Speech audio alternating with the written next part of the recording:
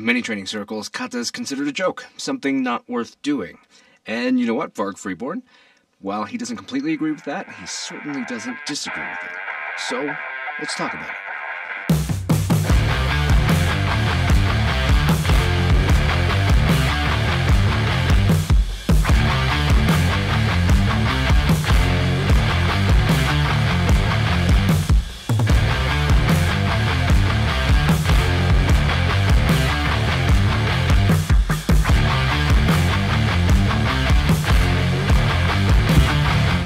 Hey, what's up? I'm Ken. This is Kenfu TV, and each week I release videos in the martial arts, philosophy, technique, training, that sort of thing.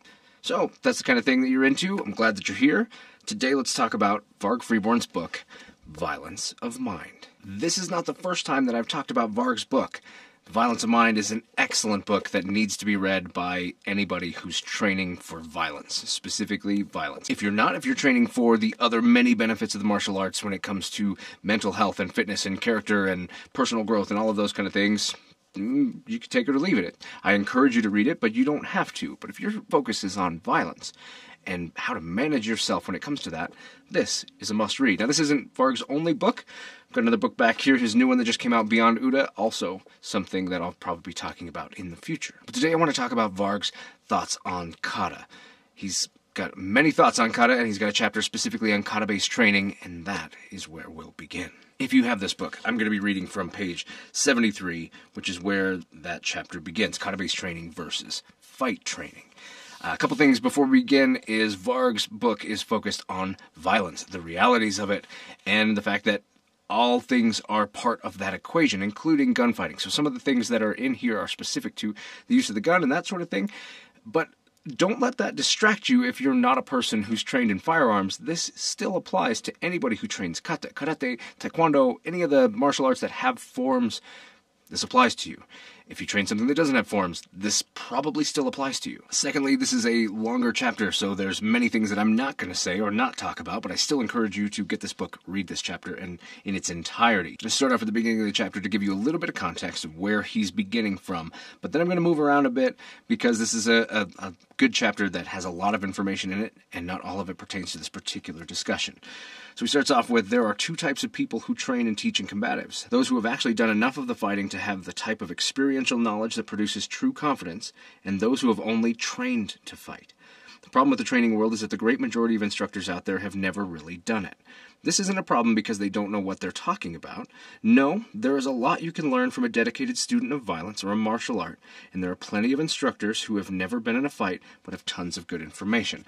I wanted to include that part to say he's not throwing away people who don't have experience. It's not about specifically experience, it's about the way that we train and the things that we consider important.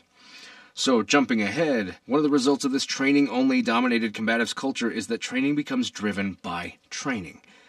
What this means is that instructors are 25 degrees removed from an actual experienced teacher, and as that information flows through the community, it becomes dogma by rote, or what I like to refer to as kata based gunfight training, or kata based training. It becomes regurgitated information rather than experienced, then shared information. I I want to say that again it becomes regurgitated information rather than experienced then shared information. Movements become more like choreography than actual fight skills. This becomes a kata, easy to copy and repeat and pass on. It's essentially a dance move as it is taught and received. Done some stuff in the dance world myself, and I can tell you that is what dance is like. It's about being able to reproduce it. It's not being able it's not about being able to understand it. This happens because the techniques remain isolated katas and conditioning is not taught, which which would allow the student to own the technique. So here we go. We're talking about the first problem, and I agree with this, which is that the majority of us, the majority of martial arts out there are focused on being able to reproduce something that you're shown and not about how to understand and work within this environment that's an incredibly important thing that often gets lost, which is weird because everybody walks in the door looking for a solution to a context. And then somehow we can magically become comfortable with something that has nothing to do with that context just because we think that it's related, which is a really, really dangerous thing and can make a really easy way for somebody to become falsely confident and end up in a lot of trouble. Jumping forward, conditioning is what builds true capability. Conditioning is the only path to self awareness and the development of naturally occurring technique. I've personally met several black belts who had had zero conditioning work to go with that belt. If they were to get into a real fight, if a fancy move doesn't work within the first 30 seconds, they are going to be sucking wind in a very serious way very quickly. But another very important side effect that lack of conditioning has is the practitioner never develops their own efficiencies and techniques. The innate ability to intuitively understand their own body and how to counteract their environment just never gets developed. This is big. This is probably my personal biggest struggle with kata, and I know if you've watched this channel, I really enjoy kata. I like kata a lot, and I include it in my training. I use it, I teach it. I'm very fond. But I believe very strongly in this. If you do not train in a way that builds your understanding and your ability to perform the things that you do and are trying to get good at, then you never develop your ability to do them, and you never develop your ability to be yourself and move and understand things the way you need to. This is such an often missed thing, and probably one of the biggest things that cause kata to be so poorly regarded in the martial arts community is because so many katas have been passed specifically for the purpose of passing them. And then we have been tested on our ability to perform them to do a performance of them. And that is what people get graded on and they get their promotions based on, they get their X degree of black belt based on, is their ability to retain, recall, and perform kata. Kata is not fighting. Let's keep going. The emphasis becomes too often put on the perfection of movement, independent of outside variables.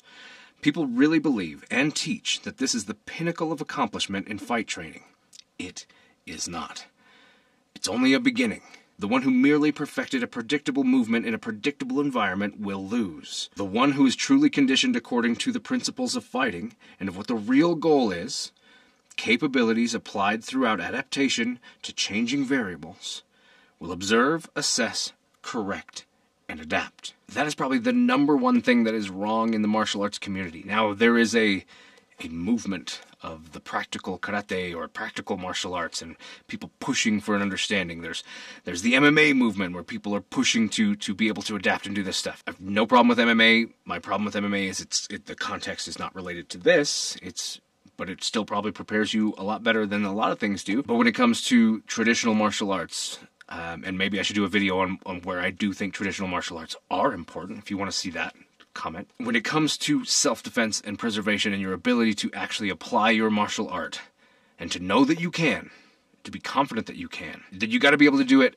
outside of a context of a willing partner. Here's what I see in a lot of traditional martial arts schools. If this is not your school, then I'm not talking about your school. But I've seen this school, and you might be in one. That's for you to decide. What I see in a lot of traditional schools, kata, the practice of it to become really good at it drilling basics to become really good at basics. Now, that is actually in the next chapter and really important. Fundamentals are really important, but when I say drilling basics, I mean standing on a spot and working punch after punch after punch and just working on part of the body and never being able to build in timing and movement and some of this other stuff, but just focusing on the, the perfection of that exact movement that, that has its function and has its limits. Then drilling with a partner, where that person does a, a, predictable and preset, predetermined action, and you deliver a predetermined response, and then you work to become excellent at it. He makes a really funny comment about how, how people get good uh, and good enough to post something on Facebook and then they've made it. But that's where it goes, is to that. And then sparring happens in a completely different context, and the rule set doesn't really apply to the context of this. And that's where it ends. That's the problem that I see is a lot of traditional martial arts schools. It ends there, and we don't go past it, and then we're stuck in a place where everything works perfect on the mat, and hopefully we never end up in a situation outside of the mat because the truth is it's going to fail. Rereading that part right there. The one who is truly conditioned according to the principles of fighting and of what the real goal is. So, you're not reading this with me, the parentheses around this next part. Capabilities applied throughout adaptation to changing variables. So that's what he's saying the goal is. The, the goal is to be able to apply your capabilities throughout adaptation to changing variables. Things are changing, whatever's happening, and you're still able to do what you are functionally capable of doing regardless of the facts that things constantly change. He says people who can do that will observe, assess, correct, and adapt. Remembering the sentence before that that says, people who merely perfected a predictable movement in a predictable environment will lose. He's saying the people who train this other way, according to that goal, will observe, assess, correct, and adapt. And the truth is, fighting. Fighting. Not dueling, not competition. Fighting for survival, fighting for your life, fighting for your loved ones. Fighting. That definition of fighting.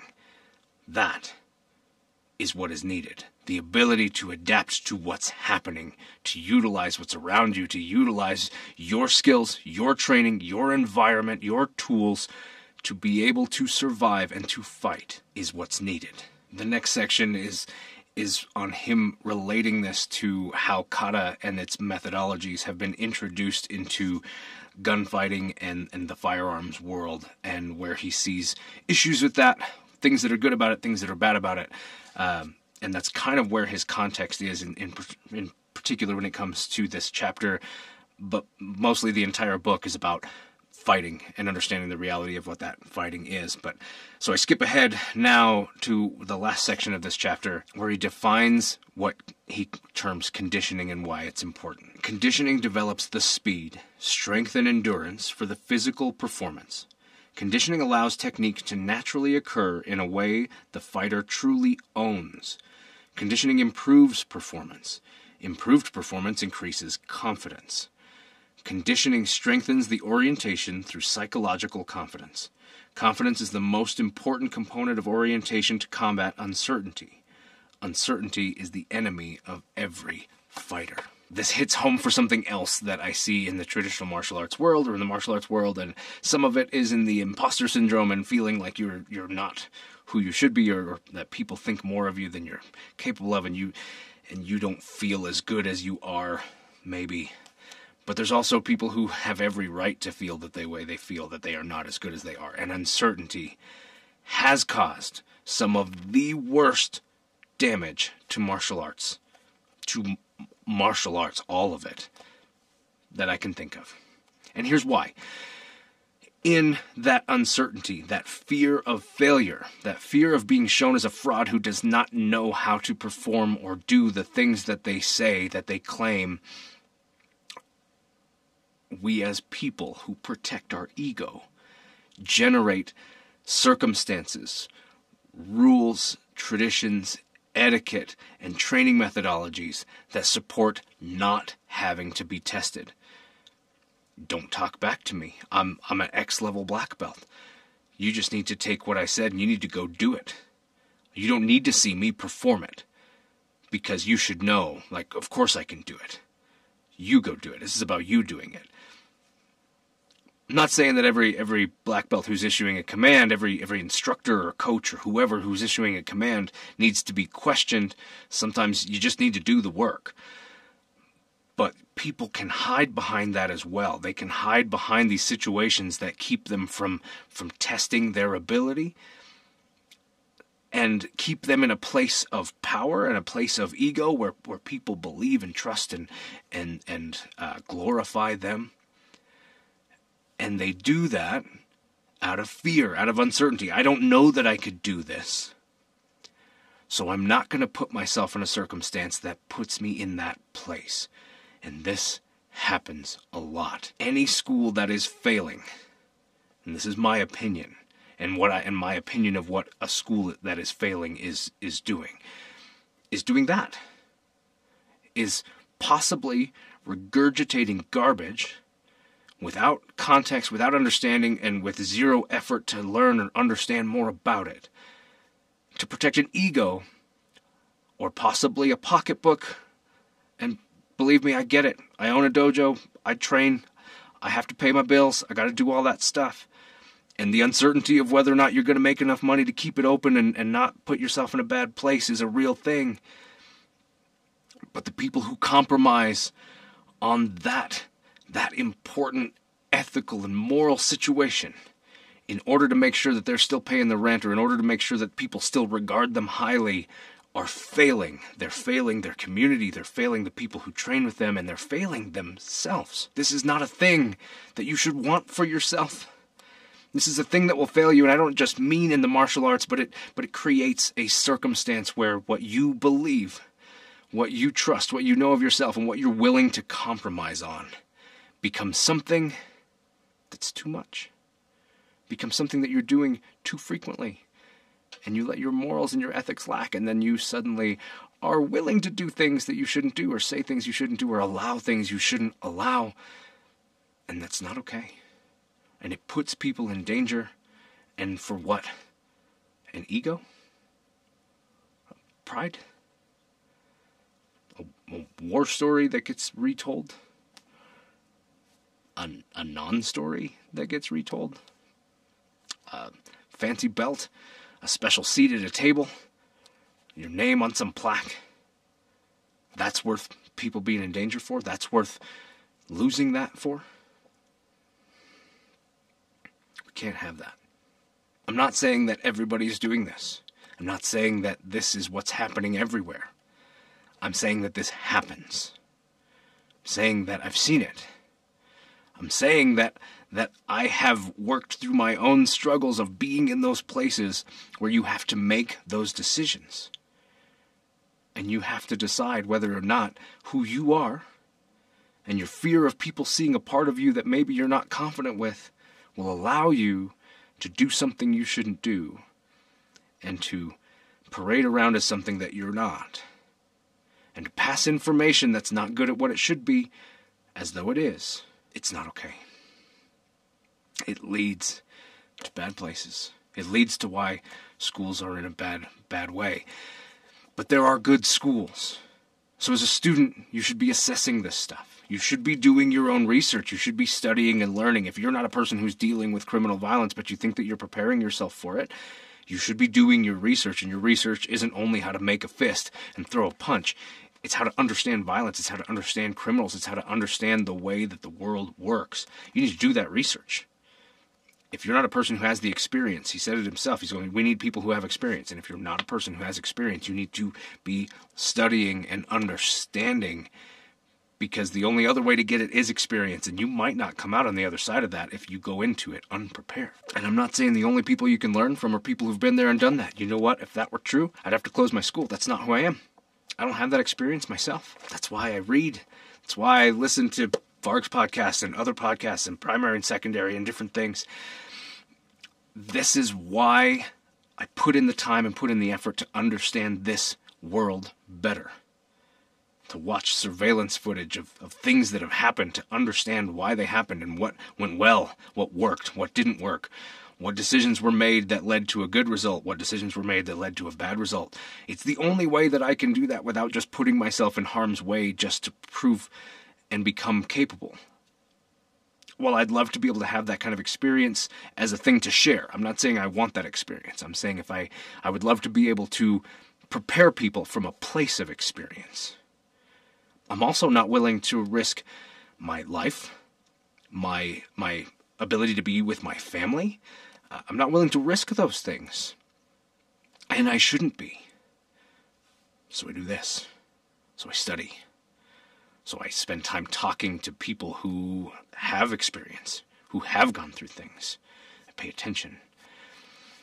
So as a student, you should open your mind to more so that you can properly gauge if you are in a place that is hiding behind a lie based on the fear of uncertainty. As an instructor, you should be questioning whether or not you're allowing yourself to be in that place and to create that lie and to be able to weed out the things that are important or not important. So, not every school is bad.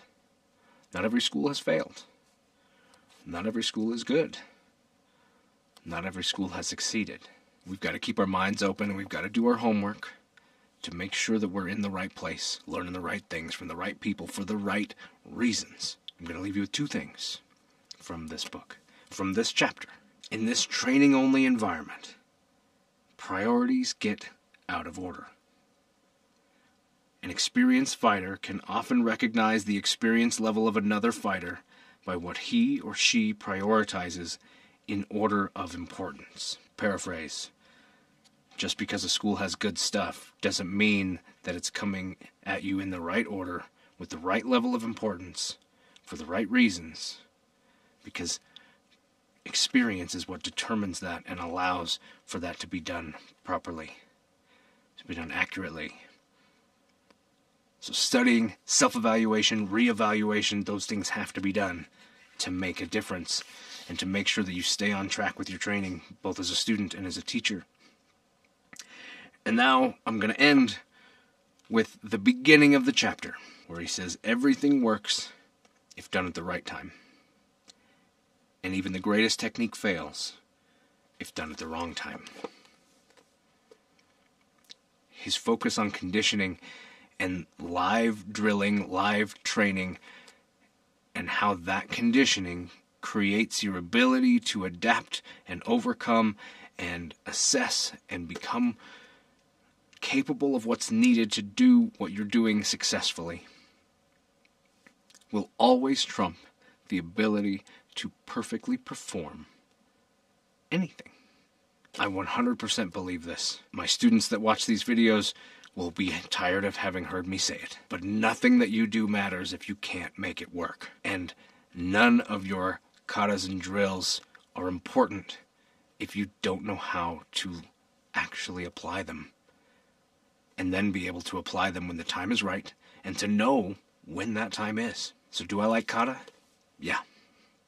Does Varg like kata? Maybe. He's not wholly against it. Does kata trained improperly or prioritized too heavily create problems? Yeah. This book is excellent, and I could read you sections of it throughout the entire book. I could read the whole book to you because I think there's so much good stuff in here. But instead, let Varg read it to you. Link in the description for the audiobook narrated by Varg himself, which has a little bit of his story and a lot of bit about his philosophy, and I highly recommend it. I'm Ken, this is Kenfu TV, and I'll catch you in the next one.